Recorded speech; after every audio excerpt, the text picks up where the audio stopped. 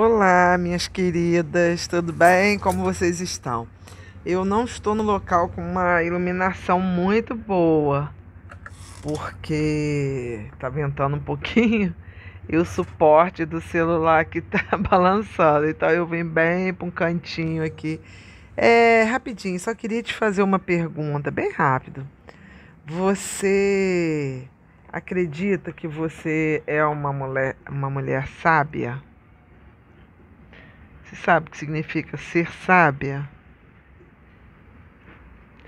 Sabe, é, o livro mais antigo da história, a Bíblia Sagrada, no livro de Provérbios, capítulo 14, ele diz assim: olha, a mulher realmente sábia edifica a sua casa, mas a tola a derruba com as suas próprias mãos. E eu queria refletir com você um pouco sobre isso.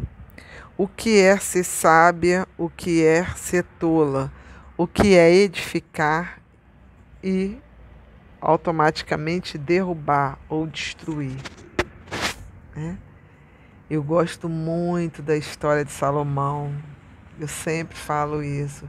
Salomão ele era filho do rei Davi, ele podia pedir a Deus qualquer coisa que ele quisesse, poder, mais dinheiro, mais fama, e ele pediu, né, naquele momento, a Deus sabedoria. E é uma coisa que nas minhas orações eu peço muito a Deus. Eu acho que quando a gente tem sabedoria, a gente sabe como agir. O diferencial é esse. É que quando você tem sabedoria, você sabe como agir. Então, eu queria falar isso para você hoje. Para você é, ter cuidado. Né? Você, principalmente você que está num, num relacionamento, para a vida na realidade, né? A gente precisa ter sabedoria. Mas você que está num relacionamento,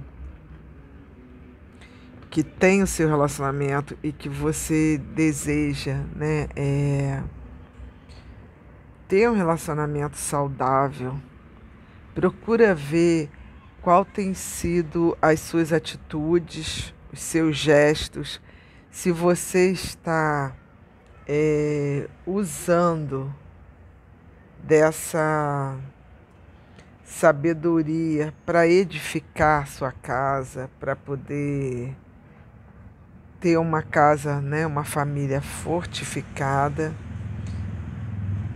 ou se você não está usando dessa sabedoria. Porque se você não estiver usando dessa sabedoria, a palavra diz que você vai destruir com suas próprias mãos.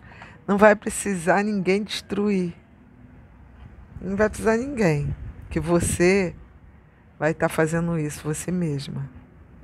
Então, Peça a Deus sabedoria para agir da forma correta, para você edificar, para você fortalecer a sua família. Tá ok? Essa é a minha dica de hoje. Gratidão imensa.